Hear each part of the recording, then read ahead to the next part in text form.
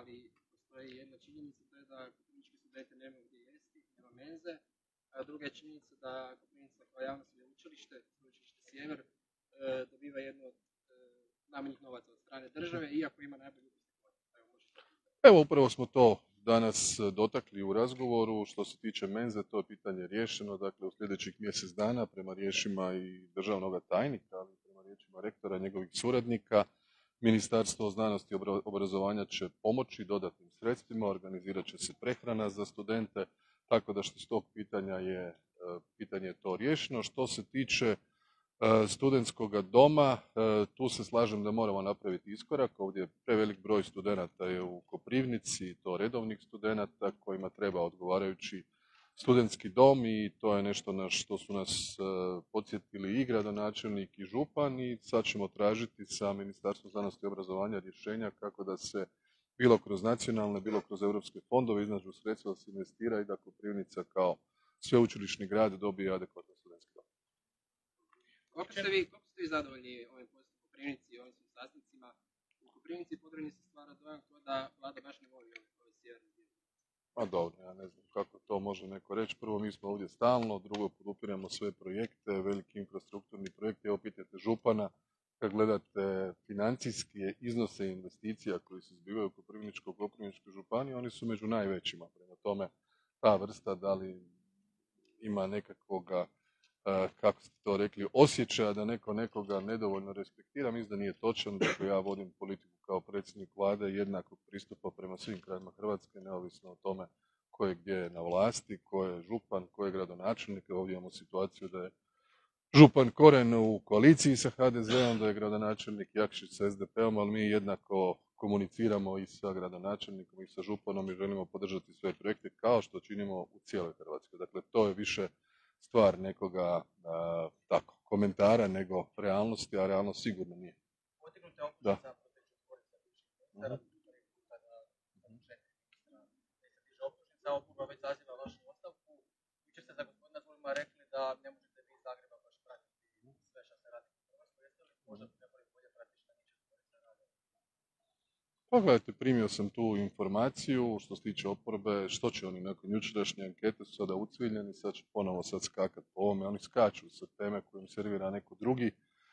s jedne na drugu, ne bi li uopće se znalo da postoje. Dakle, što se tiče oporbe, tome apsolutno e, niti puno dotiče, niti zanima, niti ima išta konstruktivno reći po bilo kojoj temi, nego uvijek e, skaču na ovo što im servira ili e, medijska scena ili DORH. Što se tiče ovoga, ovo je sad stav DORH-a, sad ćemo ići dalje, pa će se vidjeti što će na kraju toga svega biti.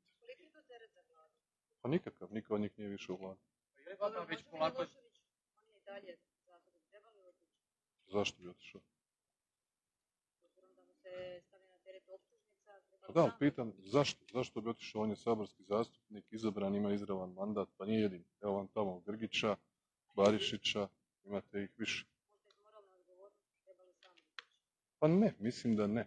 Mislim da ne. Ovo je samo jedna strana u postupku koji se zove državno odvjetništvo. Druga strana je obrana, a u konačnici odlučuje sud. Je li vama možda ali molim vas iskreno da. je li vama dosadilo i govoriti da imate nultu tolerancije na korupciju, uh-huh. da svaka korupcija uh-huh. ima ime i prezime, ali nakon se postaje ovim najvećim aferama da to ime i prezime često ima i članstvo iz Pa ja bih volio da se jednakim aršinima ide prema svima. Ja bih volio da se ide. Ja vam tvrdim, a i to pokazuje i praksa. Dakle, ono što smo mi dokazali kao vlada, mi na DORH ne utječemo, na USKOK ne utječemo, na rad policije ne utječemo, nemamo informacije iz tajnih izvida. Dakle, oni su u potpunosti neovisni. Što se tiče nas, neovisni su 100%. Da li su neovisni od svih drugih, ja to ne znam.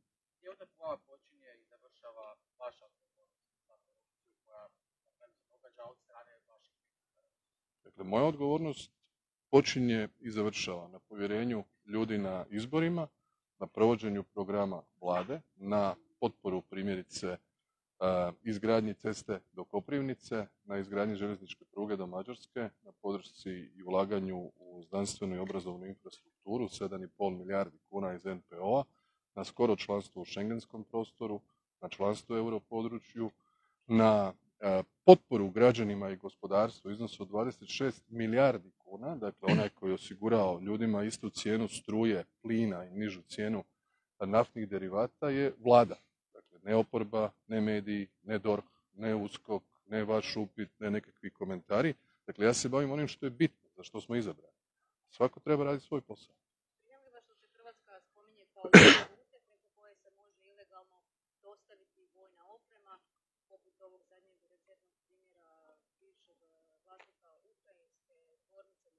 koji je obećao Rusima da će preko Hrvatske e, na crno dostaviti motore za zrak.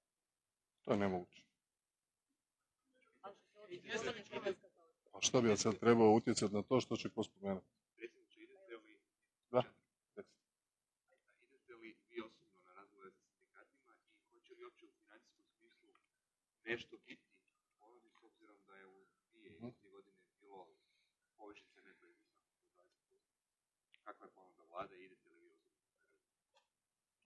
Mislim, svi su razgovori sa sindikatima završili na taj način da smo kroz zajednički dijalog, razumijevanje okolnosti, razumijevanje potrebe za podizanjem standarda državnih i javnih službenika stalno povećavali plaće. Dakle, svi naši sugovornici jako dobro znaju kakva su postignuća u razgovorima sa socijalnim partnerima naše vlade i vlada prije nas. Dakle, ja mislim da je bilo dobro da vi možda evo danas ako imate vremena pogledate prije nego što radite svoje priloge da vidite koliko je narasla plaća od 2016. do 2022.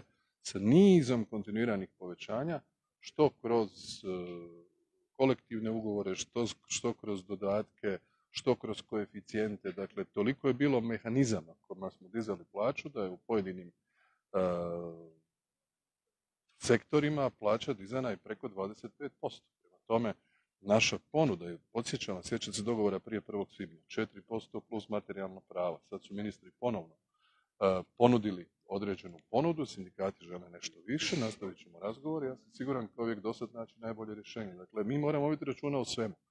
Dakle, naša je zadaća voditi računa o proračunu, o ekonomskom standardu, o cijenima energenata, o plaćama, ako postoji neko ko stalno radi na tome da ljudi imaju veću plaću, bolji standard, da ublažimo efekt inflacije, koje nota bene nije bilo proteklih godina. Dakle, mi smo povećavali plaću šest godina, inflacija je bila ispod 1% tome to što inflacija sada ovako sigurno nije do vlade, sigurno nije do uh, Hrvatske, to je posljedica globalnih okolnosti, dominantno uzrokovanih ruskom agresijom na Ukrajinu, te posljedično energetske prehrambene krize ekonomskih socijalnih posljedica pa i tih inflatornih pritisaka. Mi nalazimo rješenja u interesu svih. Tek imamo razgovor popodne to ćemo ostaviti nešto i nakon ovih razgovora. Sad ću sad govoriti prije.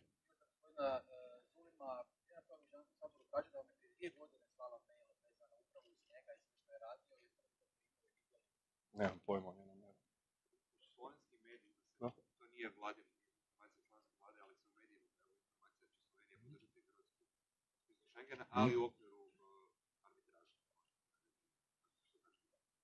vidio sam, to je jedan članak u delu na koji se vi referirate, dakle Hrvatska pristupa u Schengen temeljem ispunjavanja kriterija za punu spremnost za provedbu šengenske pravne stečevine koja ima osam poglavlja nakon niza potvrda koje smo dobili od Europske komisije, nakon pozitivnog mišljenja Europskog parlamenta koje je usvojeno jučer, e, uz kalendar da se 10.11. čini mi se studenoga izglasava to izvješće na plenarnoj sjednici Europskog parlamenta, Potom idemo na vijeće za unutarnje poslove 8. prosinca i stvar je gotova.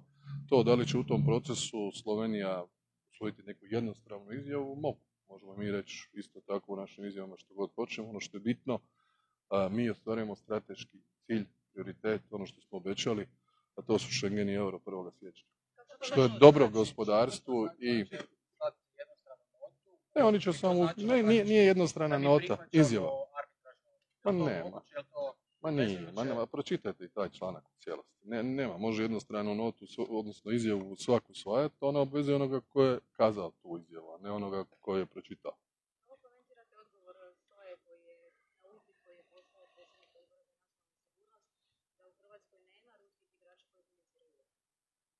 Dobro, a ko je uopće izjavio da oporbu neko plaća?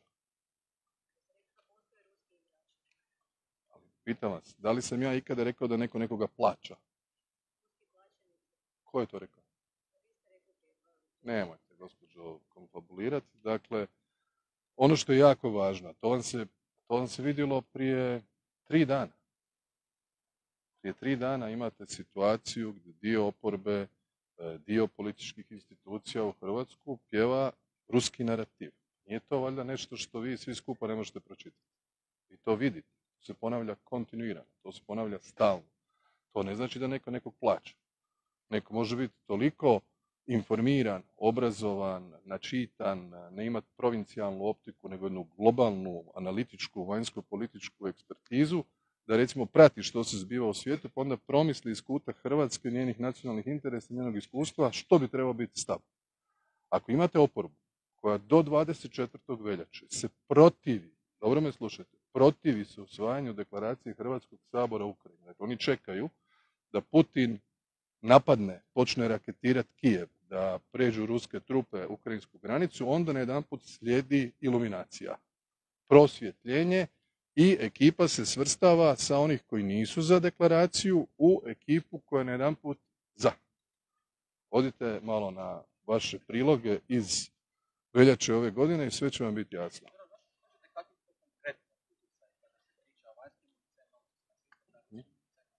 Dobro. Dakle, ovako. Imamo Hajdaš Dončića, inače poznatog prijavljivača za, za povjerenstvo za sukob interesa, koji valjda gleda svaku moju izjavu, onda pita so ovo što sam ja navodno rekao. Dakle, mene ne interesira što onome što ja govorim misli SOA, što onom što ja govorim misli Hajdaš Dončić, što onom što ja govorim misli bilo ko drugi, ja donosim svoje političke sudove i ocjene. I ne treba mi za to provjeravanje da li će mi neka sigurnosno obavještajna agencija obavješćivati jednoga predsjednika jednog odbora u Saboru da provjerava tko je što rekao i tko je što mislio.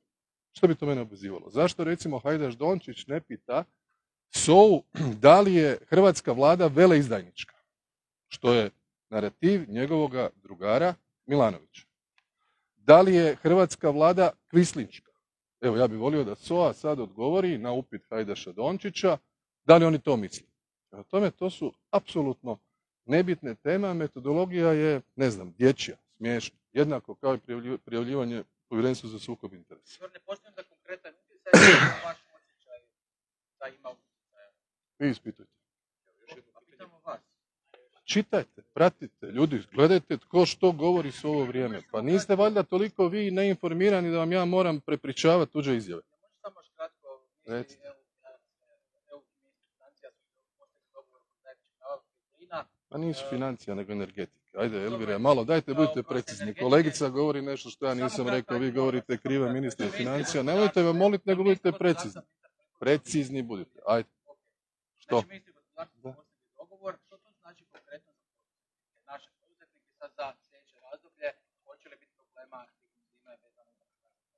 Neće. Dakle, bit je bila, jeste vi bili na predavanju danas mom tamo u Podravki?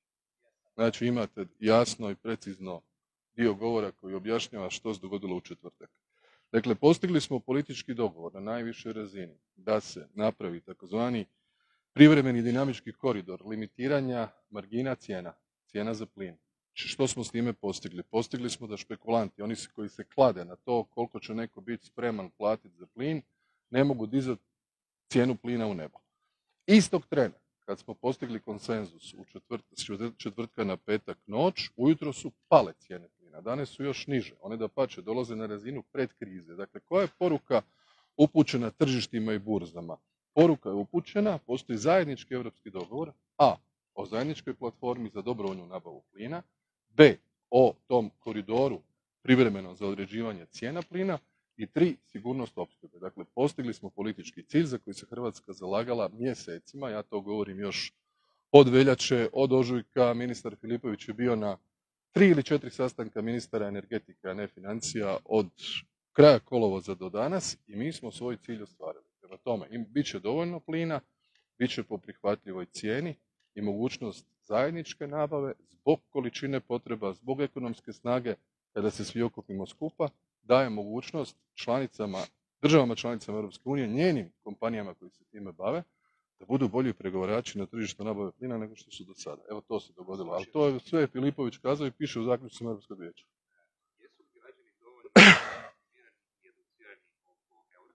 Što se vama recimo urezalo u pamćenje te cijele velike kampanje koja je dugo trajala? Što pamtite kao neku, ajmo reći, naj, naj, najbolju poruku, stvar, s obzirom da je potrošeno oko 20 nešto Čekaj, Koja je dugotrajna kampanja? Kampanja uvođenja eura. Kampanja educiranja. Znači, kampanja košta 4 milijuna eura, 2 milijuna eura daje Hrvatska vlada, 2 milijuna eura daje Europska komisija. Ja vodim proces e, vijeća za uvođenje eura od 2018. godine.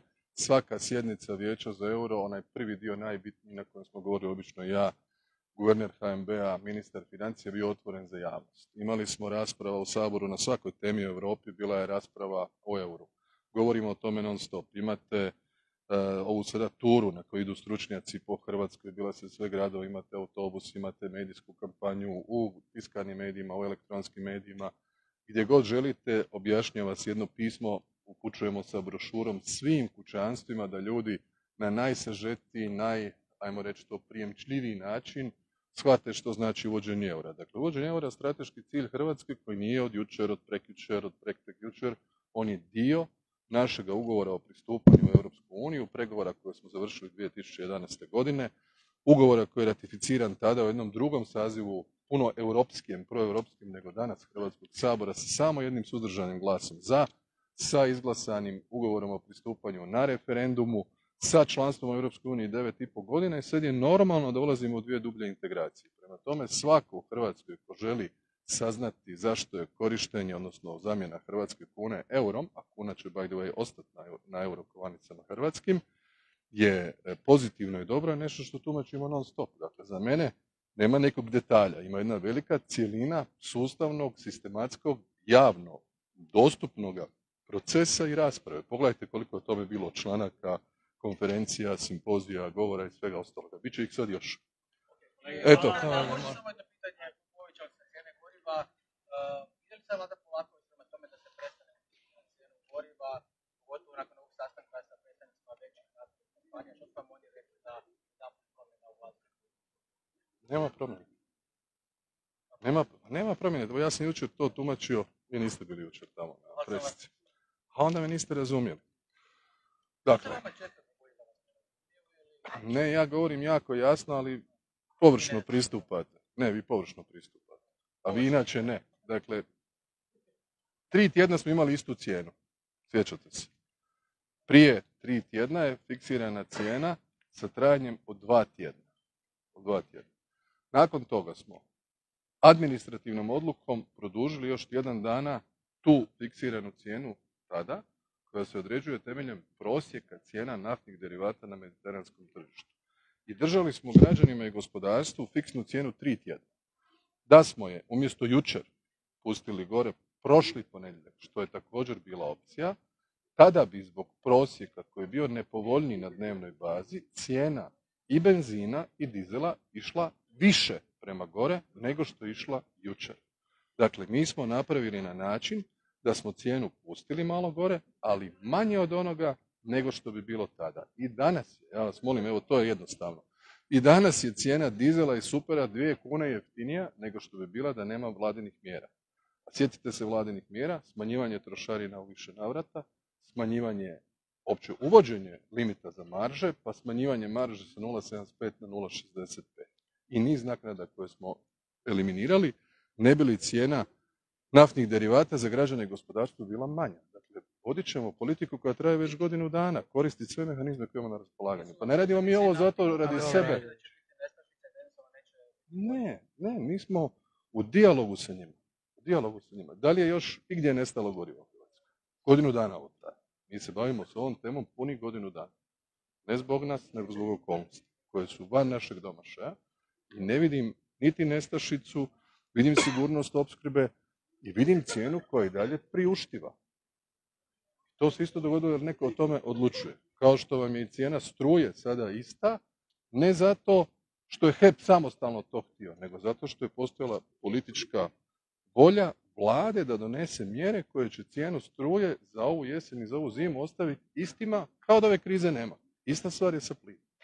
Dakle, ako smo uspjeli, to je važno u kontekstu razgovora sa sindikatima, ostaviti za jesen zimu struju po istoj cijeni, plin po istoj cijeni, imati dvije kune nižu cijenu naftnih derivata, onda je to ipak neki doprinos proračunima naših građana, a i troškovima naših gospodarstva. Sve ide in favore. Nema ni jedne odluke koja ide kontra gospodarstva i ljudi. Dapače. Je li to ok? Hvala. Hvala vam.